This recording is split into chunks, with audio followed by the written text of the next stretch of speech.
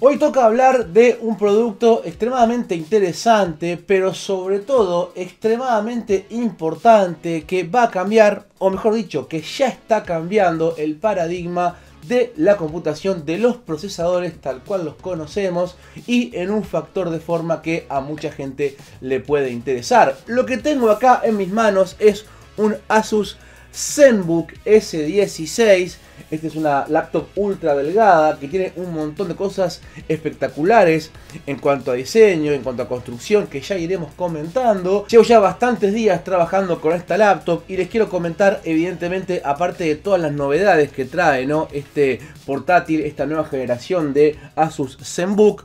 Por supuesto la principal novedad que es esta nueva generación que aparte de incluir la nueva arquitectura Zen 5 de AMD, o sea, la vamos a ver en laptops antes que en escritorio. Esta arquitectura Zen 5 en este factor de forma ya está incluyendo además, bueno, los núcleos Zen 5 y los núcleos Zen 5C más pequeños. Por otro lado, nuevos gráficos integrados RDNA 3.5 en lugar de RDNA 3, que además de mejorar la arquitectura, aumenta el conteo de núcleos, eso es muy importante. Y también, bueno, una capacidad de 50 TOPS para procesamiento de IA de manera local en la computadora sin tener que estarse conectando a un servidor remoto. Un procesador que es, sin temor a equivocarme, uno de los mejores procesadores a nivel de eficiencia del mundo en este momento. Y sin temor a equivocarme, este debe ser ahora mismo el procesador de 28 watts para laptops con Windows más potente que exista en el mundo, sin temor a equivocarme y por escándalo. Así que de verdad, los invito a que se pongan cómodos, que vayan por algo para tomar, por algo para comer, porque hay mucho para comentar sobre esta laptop, sobre estos nuevos Ryzen AI y todas las posibilidades que abren, bueno, este factor de forma tan, pero tan delgadito.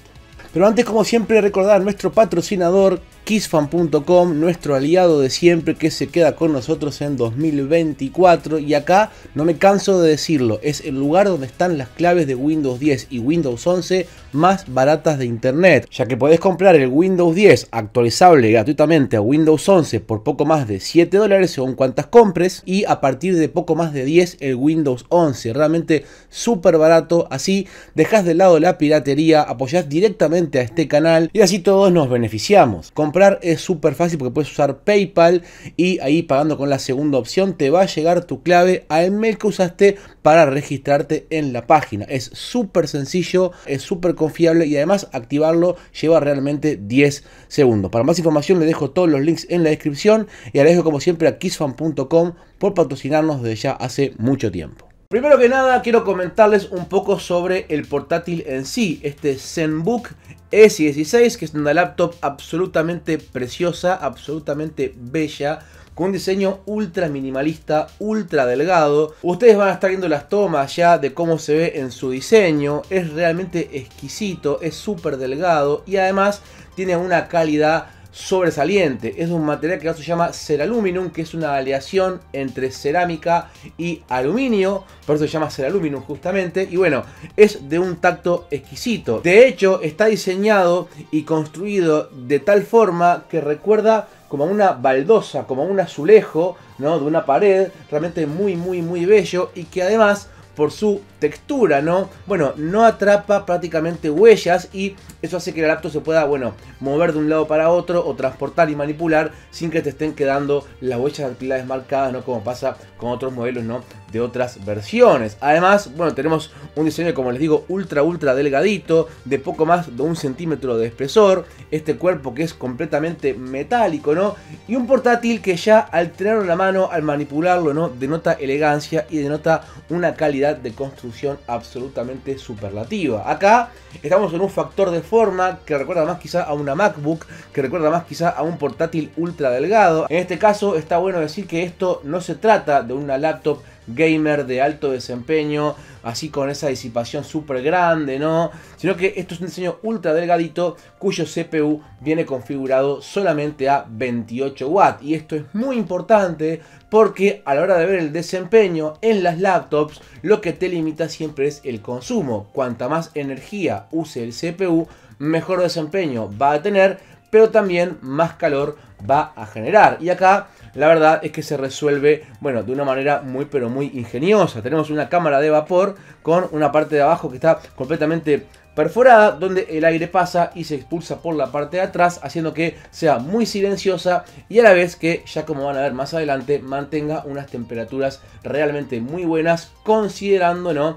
Que esto es un CPU de 28 watts. Al levantar la tapa nos encontramos con, primero que nada, una pantalla que es absolutamente espectacular. Es una pantalla que es de resolución 3K, o sea, 2880 x 1600 píxeles. 16 pulgadas con relación 16 décimos, o sea, es casi todo pantalla, marcos ultra delgaditos y en este caso tiene un acabado glossy como con un vidrio por enfrente ya que la pantalla además es táctil y no solamente es táctil sino que aparte la computadora te incluye en la caja el Asus Pen que se conecta por Bluetooth y que es sumamente práctico para, bueno, poder dibujar, para poder anotar y también para lo más divertido que es usar las apps de IA como vamos a ver más adelante. Está realmente muy bien pensado ¿no? todo el ecosistema con lápiz de Asus y cómo se implementa acá a la hora de usar las apps de diseño por IA. La pantalla es OLED, es espectacular, se ve increíble, tiene hasta 500 nits de brillo con HDR y también tiene una frecuencia de actualización de hasta 120 Hz, o sea, pantalla 3K OLED de 120 Hz y además también dato no menor la pantalla es provista por Samsung y también tiene certificación de colorimetría por Pantone o sea es una pantalla que va muy en serio, muy pro, con una resolución exquisita, una nitidez descomunal y un contraste muy pero muy muy bueno. Acá bueno, ten en cuenta que es táctil y por eso viene con el vidrio adelante para que no se esté rayando tan fácilmente. Luego, por la parte de abajo tenemos una serie de rejillas de ventilación realmente muy minimalistas, muy bonitas y un teclado que realmente es increíble. El teclado lo que llama la atención es el poquito recorrido de las teclas, creo que son de menos de 2 milímetros, es realmente muy, muy, muy fácil de escribir, es prácticamente silencioso, sumamente cómodo, sumamente elegante y además también se retroilumina con luz LED blanca, me encanta, o sea, súper estético como queda el color de la laptop con el teclado retroiluminado, realmente muy, muy, muy bueno. Y por debajo un generosísimo generosísimo trackpad que es de vidrio y que también incluye las funciones multimedia justo también en el trackpad, o sea, ajustes de brillo, ajustes de volumen y ajustes de reproducción de contenido directamente en el trackpad como si se tratara de teclas multimedia, realmente muy ingenioso para poder así aprovechar más el espacio de el mismo. Y por supuesto ahí los stickers que acompañan ¿no? de Ryzen AI 9HX y también Radeon Graphics, que eso ya vamos a ver ahora a continuación. Pero realmente en lo que es diseño, en lo que es construcción, en lo que es materiales, realmente es para sacarse sombrero porque es un producto exquisito, sumamente premium y que eso se nota cuando uno lo tiene en la mano. Además está decir que tenemos una conectividad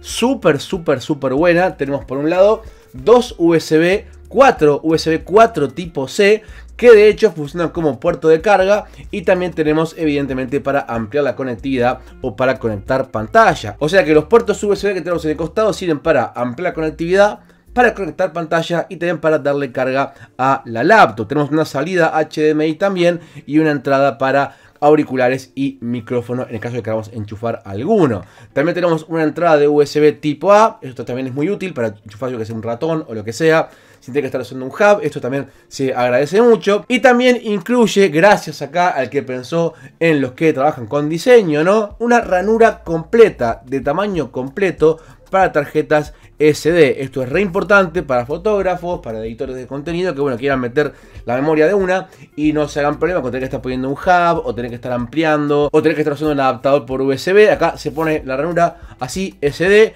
como en los viejos tiempos, súper fácil, súper práctico para los que quieran trabajar así con diseño. Realmente muy muy bien el apartado de la conectividad, que además también incluye 6 altavoces, 6 altavoces con certificación Dolby Atmos que te dan un sonido realmente descomunal que teniendo en cuenta lo delgadito que es el portátil se escucha francamente muy muy muy bien. Así que un 10 en cuanto a diseño y en cuanto a pantalla realmente a mí me ha gustado mucho. Pero ahora hablemos de lo interesante, hablemos de las entrañas. Tenemos el hardware de este equipo, el procesador Ryzen AI 9 370HX, sí, es un nombre un poco complejo, lo sé, realmente no, no, ayuda mucho, pero esto yo lo puedo llegar a entender dado que, bueno, el CPU está incluyendo dentro del silicio hardware dedicado para ejecutar, para calcular redes neuronales, para mover modelos de IA, que es, bueno, la NPU, la Neural Processing Units, que en este caso tenemos 50 TOPS, que son trillones de operaciones por segundo. Y esto supone un aumento de 5 veces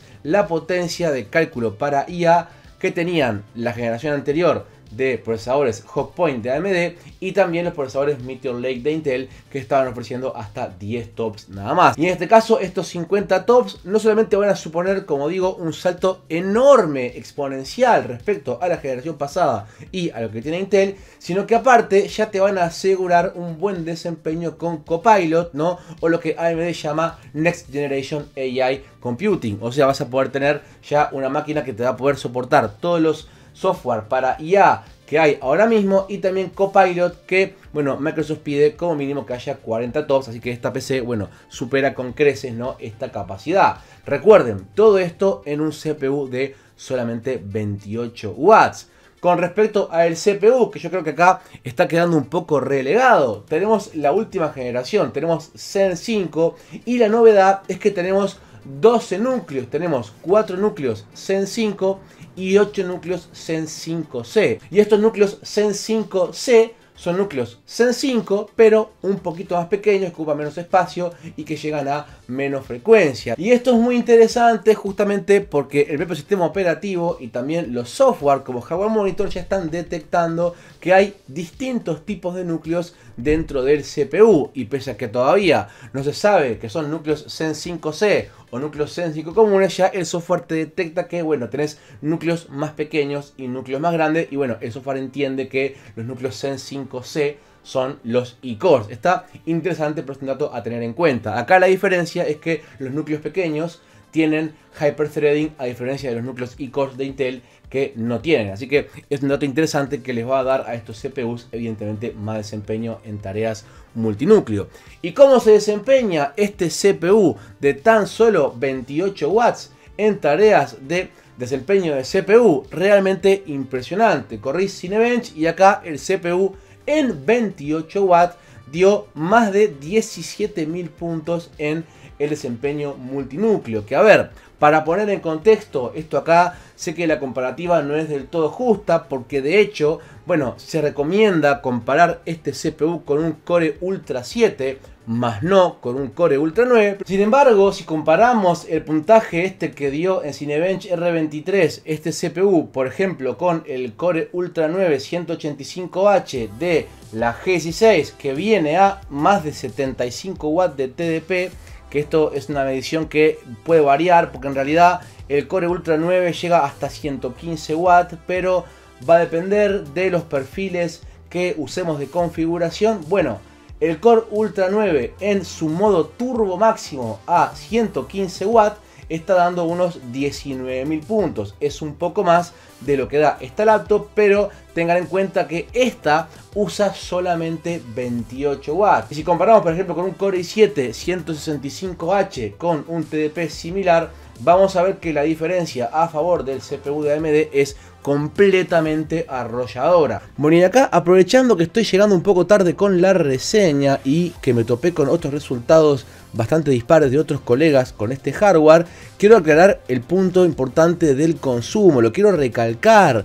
Porque he visto que hay otras laptops que llevan el mismo CPU que lleva esta, o sea, el mismo SKU, el mismo procesador que tenemos acá, este mismo Ryzen IA 370HX, el mismo CPU, pero configurado con un TDP diferente, por ejemplo, en la Asus ProArt, que en lugar de venir limitado a 28 watts, tiene un TDP máximo de 80 watts. Bueno, ahí la diferencia es de un 45% de desempeño, muchachos. 45. Es una salvajada lo que aumenta el desempeño cuando se eleva el TDP, bueno, más allá, ¿no? En este caso, esta laptop, como es ultra delgadita, bueno, disipa hasta 28 watts. Pero en esa laptop, como llega hasta los 80, bueno, llega a un puntaje mucho, mucho mayor. Por eso es que en laptops lo ideal siempre es comparar entre CPUs que tienen el mismo consumo. No importa si es de la misma generación, sino que hay que comparar entre consumos similares. Y acá estamos comparando este CPU que es de 28 watts con el Core Ultra 9 185H que es de 115 y aún así se queda bastante cerca del desempeño consumiendo prácticamente una cuarta parte de los watts del de Intel. Y como le decía, la comparativa más justa sería entonces con el Core Ultra 7, que es de 6 núcleos también, pero en esa laptop, en la OLED 14, viene a 35 watts y ahí sí que, bueno, como les acabo de decir, el desempeño prácticamente se duplica. El de Intel da unos 9000 y pocos puntos y este da unos 17000. Es casi el doble de desempeño con un consumo similar. Y eso es lo que hace justamente que estos CPUs sean tan destacables. O sea, estos son unos CPUs que tienen una potencia por watt realmente demoledora si lo comparas con la generación pasada y si lo comparas con lo que te da la criatura Meteor Lake de Intel. Ahí con el Apple M3 y con el Snapdragon está más reñido porque los CPUs de Apple y de Qualcomm son también muy eficientes pero con la falencia de que por ejemplo en el CPU de Qualcomm tenemos muchas apps, muchos benchmarks que son de Windows que ni siquiera abren, en el apartado de juegos tampoco ni siquiera abren, así que digo es muy muy espectacular lo que están haciendo estos 28 watts de consumo con este CPU que, como digo, incluye núcleos pequeños. Es un CPU de bajo consumo pensado para portátiles ultra delgados y ultra ligeros que ya está dando un desempeño muy muy serio que está dejando incluso por debajo a CPUs como por ejemplo un Ryzen 7 5000 eh, que les gusta, un 5800X3D o un Ryzen 7 5700X, por ejemplo, lo está dejando por abajo en desempeño, consumiendo menos de la mitad de energía que uno, por ejemplo, de desktop. Y yo sé que algunas comparaciones no son del todo justas, comparar Zen 3 con Zen 5 quizá no es del todo justo, pero para que ustedes se hagan una idea de lo brutal que es la relación, bueno, performance por watt, ¿no? Que están teniendo estos CPUs eh, Zen 5 y eso que ni siquiera hemos visto, bueno, los CPUs más potentes o ni que hablar los de desktop que están por llegar, bueno, dentro de unos días solamente. Pero en fin, en cuanto al CPU, realmente es muy, muy interesante. Hablemos un poco también de los softwares para IA.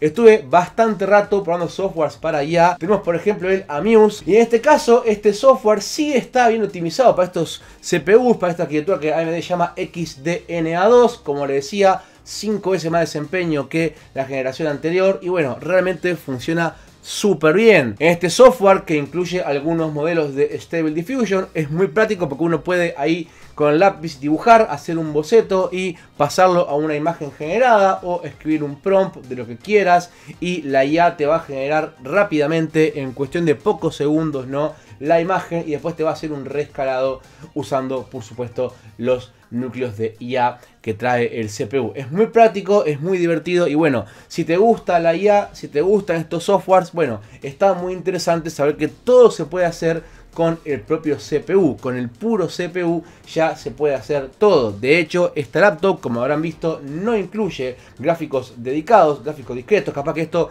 para algunas personas puede ser un poco limitante para tareas muy muy pesadas gráficamente, pero insisto, es una laptop ultra delgada de poco más de un centímetro y no es una laptop que esté orientada a los gamers o al gaming de alto desempeño. Sin embargo, y acá quiero hacer un paréntesis muy grande, estamos ante la GPU integrada más potente del mercado, porque esta gráfica con RDNA 3.5 incluye 16 unidades de cómputo de RDNA 3.5 versus las 12 unidades de cómputo que incluía la generación pasada. O sea, aumenta prácticamente cuanto un 33% la cantidad de unidades de cómputo en esta generación, en esta GPU, respecto a la 780M, que ya era muy rápida, y encima se le añaden las mejoras de RDNA 3.5, que tenemos por ejemplo un mejor uso de la VRAM, más ancho de banda,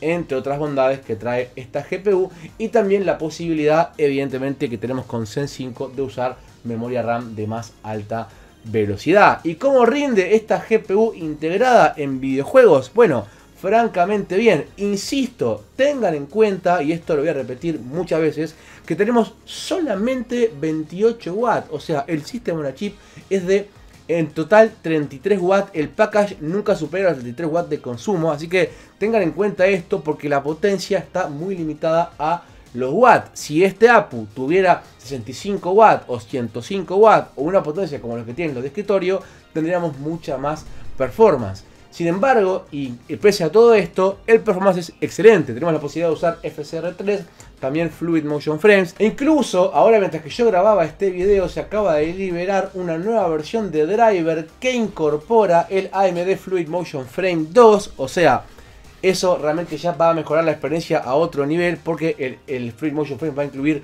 una mejora con el algoritmo por IA. Así que digo, eso, eso está realmente muy prometedor. Pero con todo esto que les digo, la experiencia en gaming fue muy buena. Probé Ghost of Tsushima, lo puse a 1080p con calidad media y FSR3 en calidad y el juego iba a más de 60 cuadros por segundo. Ghost of Tsushima. Le puse también Cyberpunk con todos los gráficos en bajo, las texturas en medio y también usé acá el Fluid Motion Frames con el FSR calidad y el juego iba a más de 60 cuadros por segundo. Realmente muy buena performance, o sea, esto no es una laptop pensada para jugar, pensada para los gamers, más pensada para ofimática, más pensada para trabajar con un estudio, para conferencias, para videollamadas, para usar la IA, para trabajar con el CPU, para editar, para editar contenido, videos, fotos y demás. Pero sin embargo, esta arquitectura nos permite también jugar, ¿no? Realmente muy bien, como si fuera una PlayStation 4, te diría. O sea, realmente ya es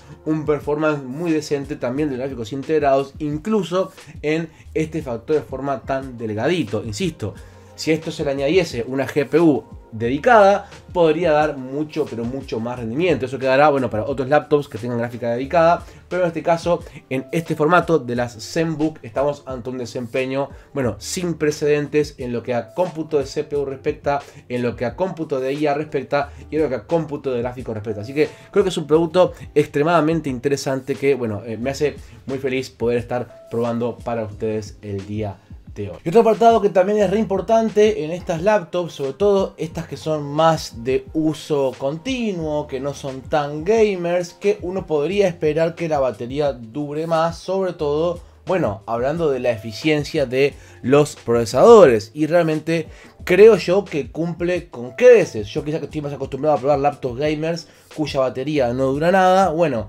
esta realmente sí que supo cumplir bastante. Esta batería me duró más o menos unas 13 horas, entre 12, 13 horas. A ver, tampoco fue que la usé demasiadas cargas desde que la recibí hasta ahora.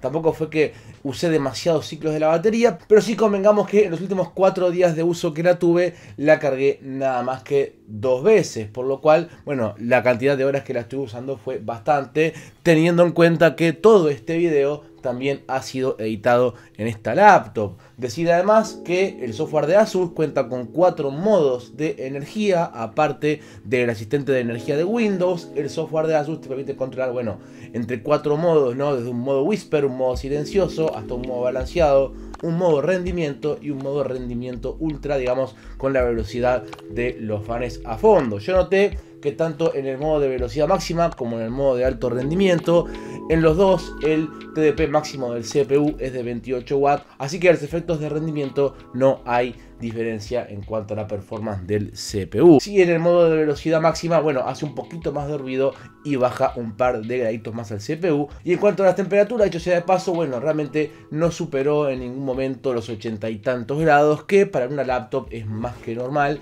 Y bueno, estábamos lejos del térmico del CPU. Y bueno, la experiencia en temperatura también fue bastante buena. Quiero pedir una disculpa por la demora de este review, debió haber salido el día domingo, pero yo llegué de Chile, que de hecho estuve en el lanzamiento, en el anuncio de estos portátiles, de esta nueva arquitectura, y bueno, realmente me quedó muy poco tiempo para poder hacer la reseña y por eso están viéndola recién hoy. Así que quiero agradecer evidentemente a toda la gente que hizo posible esta reseña, a toda la gente que colaboró conmigo estos días para que yo pudiese traer este video para ustedes, a toda la gente de la agencia en Chile, realmente se han portado muy muy bien conmigo, y también por supuesto quiero agradecerles a ustedes que están siempre hasta el final del video apoyando todo mi contenido semana a semana. Ahora sí, estimados, hasta acá llegamos. Si el video les gustó, apóyenlo con un like para que más gente lo vea. Suscríbanse para ver mucho más contenido así, eso ayuda mucho. Y compartan este contenido con todos los que ustedes crean que les puede interesar. También síganme en redes para más contacto directo y también súmense a la comunidad en disco que viene creciendo también de muy linda forma. Y bueno, estimados, ahora sí, les mando un abrazo a todos. Mi nombre es Guillermo y yo por hoy me despido de todos ustedes y los veo a todos. Hasta la próxima.